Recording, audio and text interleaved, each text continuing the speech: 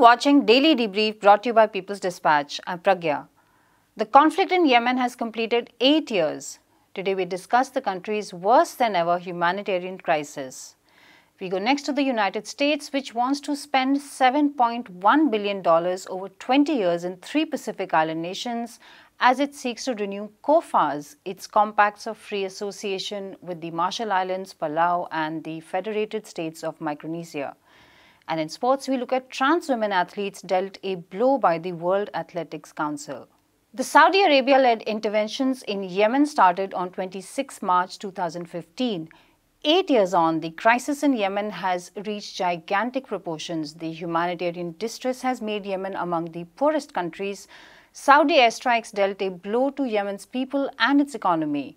International organizations have called Yemen's crisis the worst in recent history, especially its refugee crisis. What is the situation in Yemen today? Is it likely to change for the better in coming months? Abdul from People's Dispatch is in the studio with us. Abdul, eight years of the war in Yemen, can you tell us what has been the impact on the people of Yemen, on the infrastructure in Yemen? What is the scale of the devastation we are talking about?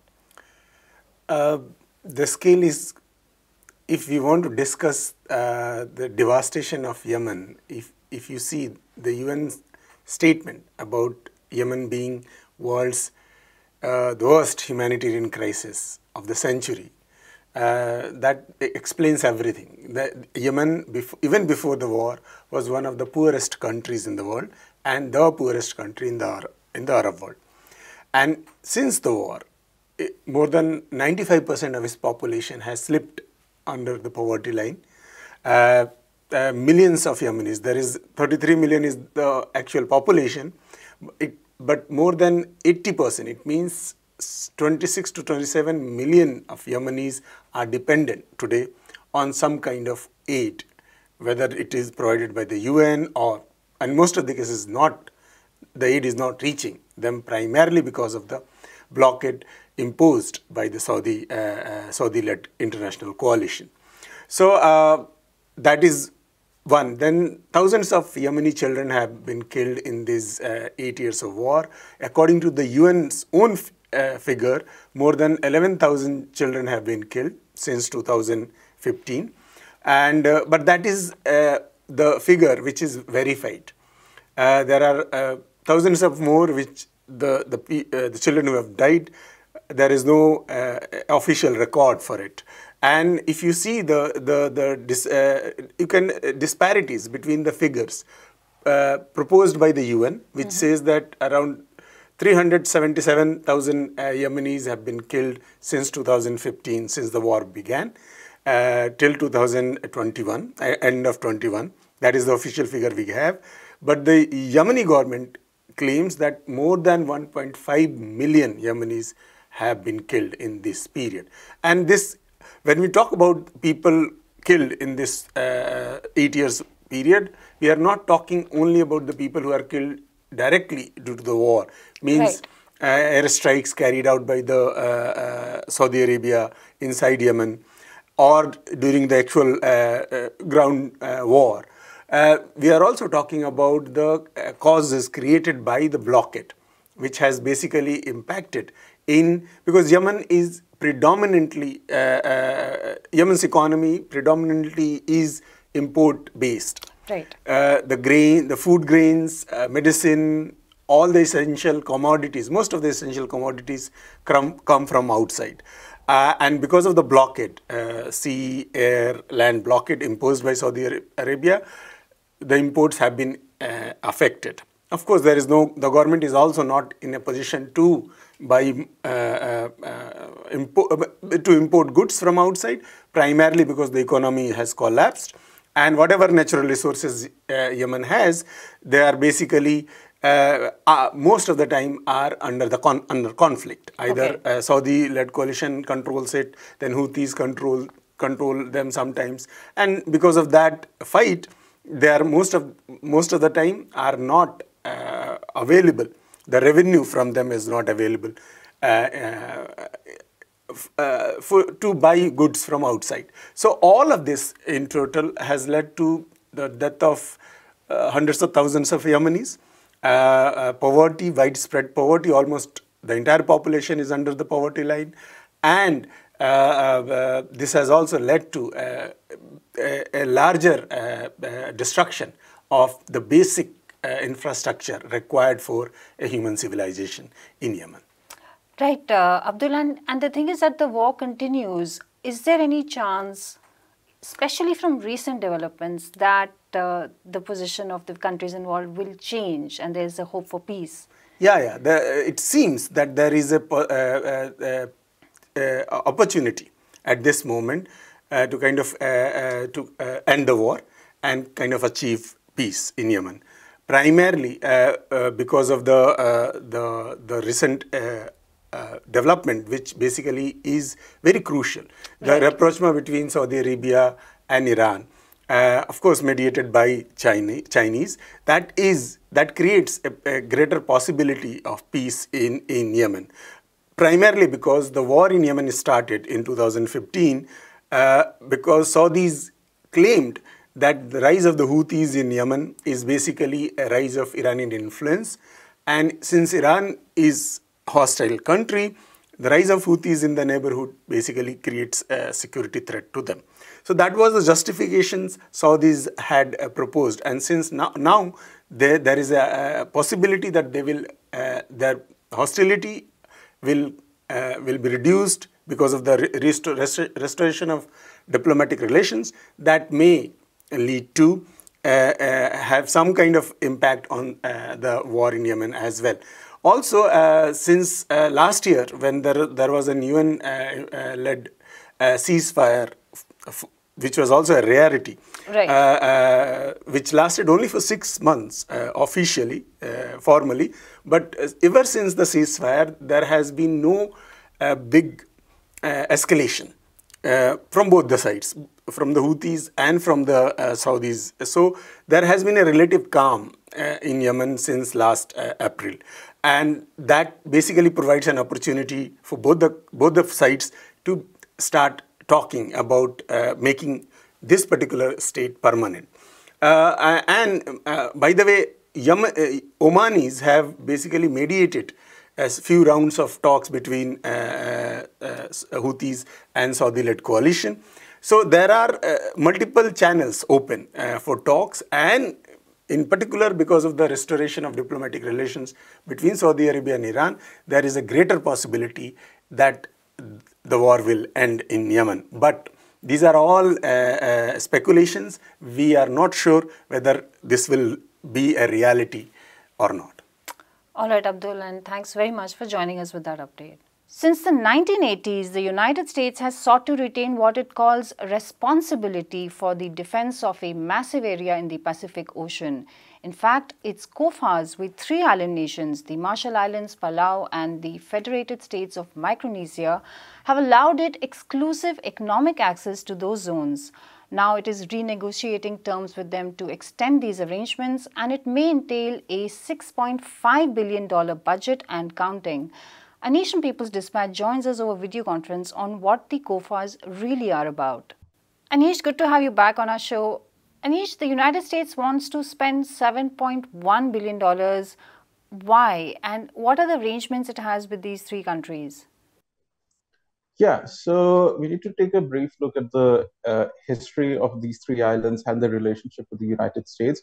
Uh, between since 1945 and until about the late 80s, in the case of Palau until 1994, uh, these three countries uh, remain under uh, a sort of trusteeship uh, that was sanctioned by the United Nations under the United States. Now, the trusteeship was basically uh, this thing that existed. Uh, it came with the League of Nations, which by which a bigger country would administer a smaller country in their neighborhood or in the general area, and until they can have the capability to self-govern.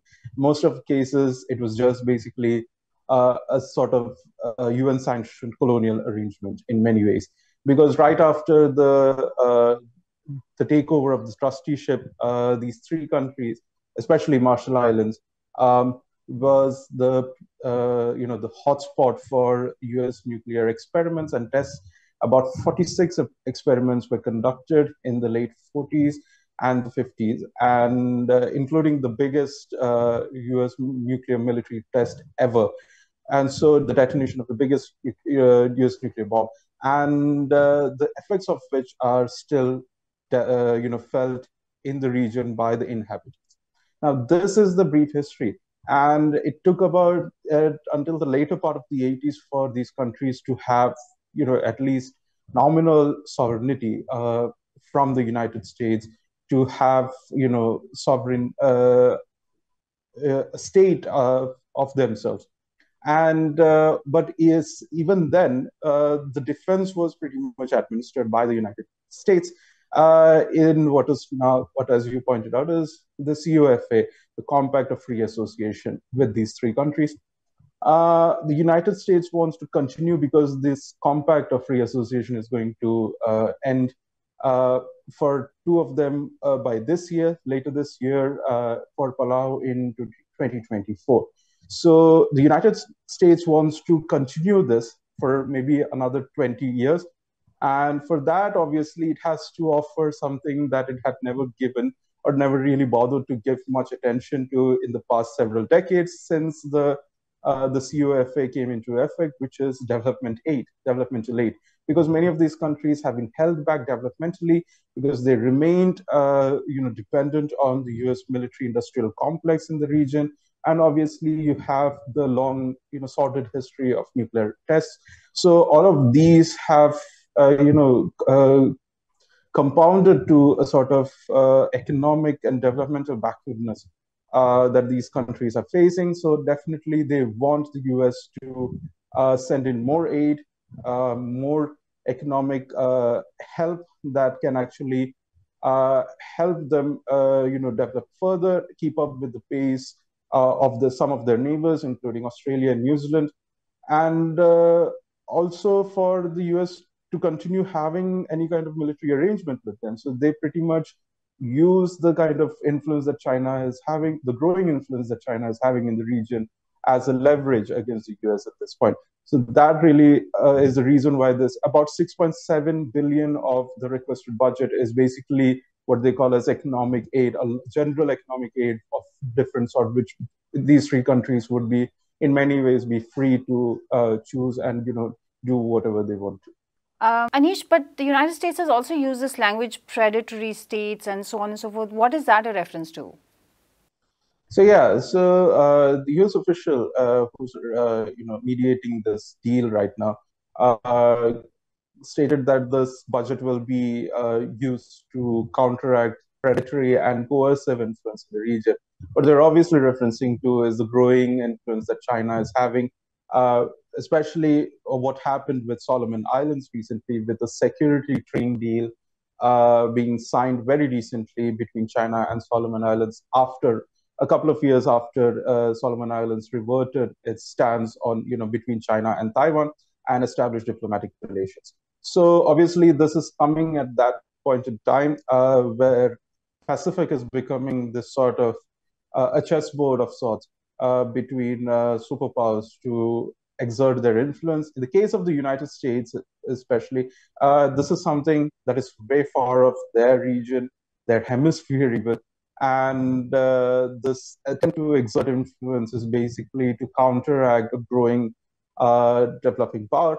And in that sense, uh, for them, uh, for their influence to remain in the Pacific, it has its own colonial and imperialist baggage to begin with. So this is something that is uh, a sort of double uh, hypocrisy uh, on the part of the United States to call, uh, you know, China's influence as coercive or uh, predatory. But uh, in this case, at least, this influence was the reason why the U.S. is now kind of ready. We are we have not reached a final deal, which will only happen by the end of the year.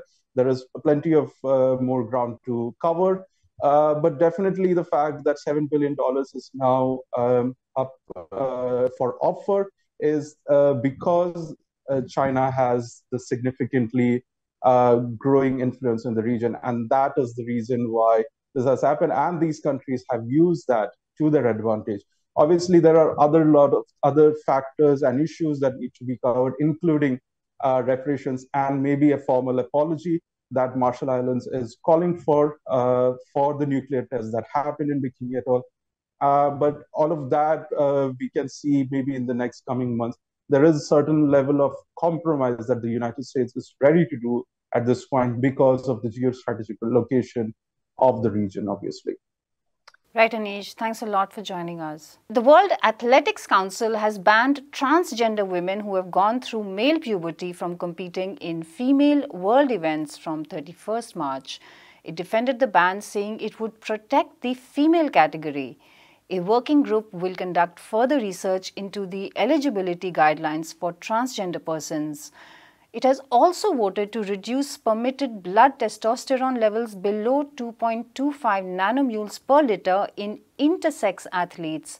Sports journalist Siddhant Ane joins us with more detail. Siddhant, uh, good to have you back on this show. Um, Siddhant, can you just tell me what is the basis for World Athletics decision? Uh, it, it, seems sort of like a very exclusionary sort of uh, choice to make, uh, and how does it affect the Olympics? Uh, so, so one of the ground, it's a very good question that you've asked, Pragya, because at this point, uh, what the reasoning was to take this decision is, is quite unclear. There was no real uh, sort of pressure or impetus of any kind. There was already a ban in place on uh, male to female uh, transgender uh, athletes uh, above 800 meters. So essentially, that decision or that previously existing ban was to target specific athletes, uh, athletes such as Caster Semenya, who uh, have been fighting against this exclusionary uh, policy that uh, what used to be called the IAAF and now known as World Athletics uh, has been following. Uh, and what they've done is to kind of the language that they are using. you know, they're using language like they, this is being done to preserve the integrity of uh, of female competitions, female athletics. Uh, but on the other hand, the impact of this is likely to forget about what happens at the Olympics at the elite level, right? Because by the time you get to that stage, perhaps athletes also have a bit more agency, a bit more ability to fight the system to, to at least have their voices heard. But what this will do is essentially include uh, anyone who has gone through uh, male puberty and is then uh, transitioning uh, from competing at any kind of organized sports at any level. So whether it's in your hometown or your state or your district or your, uh, you know, uh, even within the country somewhere, uh, you will be automatically excluded from all of those competitions, anything that comes under any kind of organized uh, athletics. So, which will also then trickle into uh, school systems, university systems, uh, creating an overall environment that is absolutely the opposite of the kind of inclusion that uh, people like Sebastian Coe, who lead or are the leading figures in global sports administration, keep talking about using sport as a tool to unite people, to uh, you know, to promote discourse, to promote uh, conversations, to promote peace, even uh, in the context of now, particularly the Russia-Ukraine war, where again they have used uh, sort of made political decisions but couched in language that indicates uh, that some kind of uh, greater good that they are trying to achieve through through all of this. So, so very hard to understand the timing of it. Uh, very hard to figure out uh, what was the motivation to do this, uh, except that the World Championships are coming up, and perhaps they needed to put it in place before then. Is this also a sort of politically guided uh, decision? Is that what you're suggesting? I think so, uh, Pragya, because you know it kind of feeds very well into uh, conservative narratives around uh, trans people uh, in, in any sphere of, of life. Uh, you know, uh, and and it is already a space, or, or, many of these spaces are already highly exclusive, or do, don't include, you know, don't allow any representation of that entire community. So it also feeds into sort of gender binary narratives that uh, conservative media professionals, conservative politicians uh, often uh, sort of uh, stick to uh, very strongly. So, so yeah, it is, it is uh, definitely a political move for sure. Even if you look at the kind of people who are coming out in support of the kind of net, you know, media networks that are coming out and, supporting this ban, you'll find that many of them are conservative and definitely on, on Uh, towards the right of the political spectrum. So, uh, so, so in that sense, yeah, it is pandering to uh, a core constituency, which, which you know, is I suppose in that sense, as as most things are, dominated by white Western uh, people uh, at administrative levels as well as uh, those who are competing in many of these disciplines. you know, people like uh, Dutee Chand, Caster Semenya, they have been at the forefront of the, the legal battle, the long running legal battle. Uh, Dutee Chand is a sprinter from India. She's done several, they've done several interviews where, you know, they've talked about testosterone not being the only factor. And of course, it's true that the science is developing on this front, but it's not purely a science thing. I think uh, it's a lot more to do with uh, discourse and and conversation and and and of course the political will to be inclusive. That I think is at the bottom or or or a main thing in this entire conversation. And somehow that part is being lost in the in the entire conversation around it as well. And when it when it when it again is voiced in terms of things like uh, preserving the integrity of the competition and all of that, it makes it all that more, much more hurtful. Uh, you know, to people who are being excluded, uh, and and in this case, to an entire community. Right, Siddhant, and thanks a lot for joining us. Sure, thank you. And that's all we have for you today. Thank you for watching Daily Debrief. Do come back to us tomorrow. You can visit our website for more People's Dispatch stories and watch our regular updates on Facebook, Twitter, and Instagram.